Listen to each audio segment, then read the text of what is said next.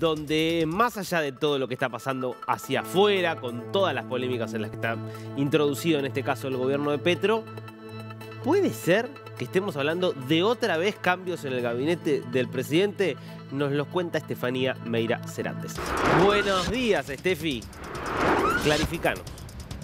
Hola Darío, buenos días. Sí puede ser. Nuevos cambios en el gabinete presidencial que haciendo las cuentas en el ajedrez político del gabinete de Gustavo Petro son 37 los cambios que ha tenido de ministros y 54 cambios de viceministros en lo que va del gobierno. No ha cumplido los dos años, los cumplirá el próximo 7 de agosto. Recordemos que aquí en Colombia tenemos 19 ministerios, teníamos 18 y en la presidencia de Gustavo Petro se creó el número 19 que es el Ministerio de la Igualdad que ha sido encabezado por la vicepresidenta de la Nación, Francia Márquez. Te cuento que en estas cuentas, en esos 19 ministerios, aún del arranque de la presidencia quedan solamente dos ministros. El resto han tenido cambios. Ahora viene otro nuevo cambio, ya se había anunciado anteriormente. Estos cambios arrancaron el sábado, cuando el presidente dijo que Luis Fernando Velasco se iba del Ministerio del Interior.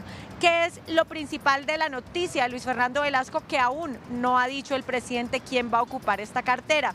Se ha hablado de varios candidatos, pero lo cierto es que el presidente aún no ha dicho quién va a encabezar el Ministerio Interior, que por demás es uno, si no el más importante que tiene el país en este momento.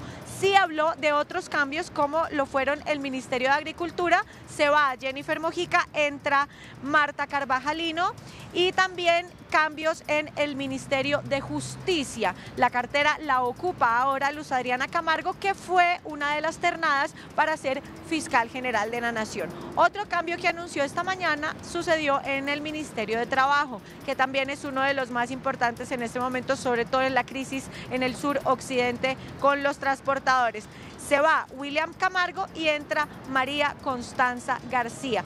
Todos estos cambios denotan una cierta inestabilidad política y una cierta incapacidad para manejar y para transmitir las órdenes han dicho ya varios de los ministros que se han retirado de las carteras, que tienen poca comunicación con el presidente y que esto ha dificultado el cumplimiento correcto de sus labores.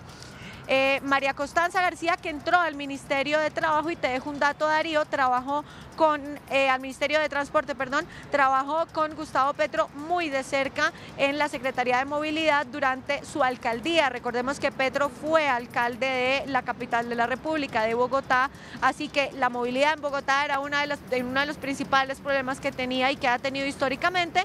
María Constanza muy cercana al petrismo.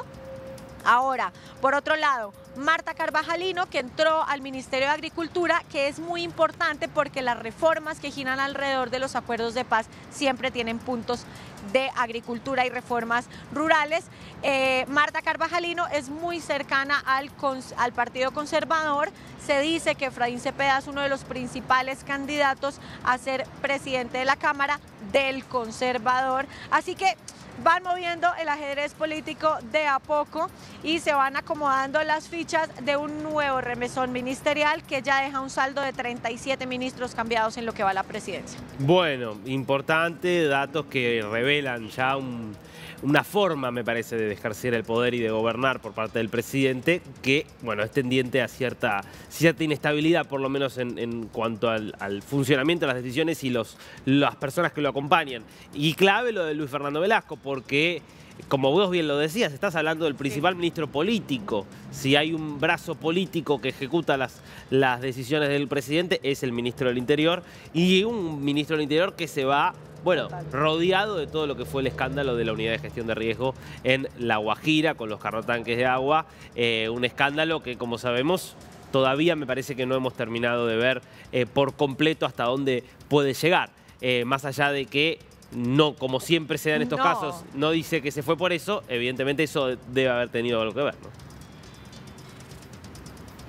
100%, lo que tú dices es 100% cierto porque él está en el ojo del huracán del escándalo de la Unidad Nacional de Gestión de Riesgo. Y te agrego un pedacito a esta información. Ya Luis Fernando Velasco dijo que la constituyente sería una, una suerte de vaca loca para el país. Eh, te puedo decir, le dice no a la constituyente. Entonces esto lleva a hacer un análisis más profundo y a empezar a esbozar cosas de planes a futuro del gobierno. Quiere tener a gente que esté de acuerdo con una constituyente. ¿Por qué mencionar este tema al justo eh, día de salir de esta cartera el exministro Luis Fernando Velasco, son preguntas que uno se hace también como periodista empezando a interconectar la información. Por demás, el ministro saliente Néstor Osuna tampoco estaba muy de acuerdo con el tema de la Asamblea Nacional Constituyente. También al ministro saliente Néstor Osuna le sacaron un par de trapitos al sol diciendo que él había sido el responsable de poner en libertad a varios integrantes de la primera línea, que es este grupo subversivo que se formó durante las protestas del gobierno de Iván Duque, estas protestas sociales que surgieron en este gobierno. Ahí se armó lo que es la primera línea, que sería un grupo subversivo eh, armado eh, urbano, ¿no? Bueno, eh, temas entonces para, para seguir ampliando. Estefi, luego seguimos.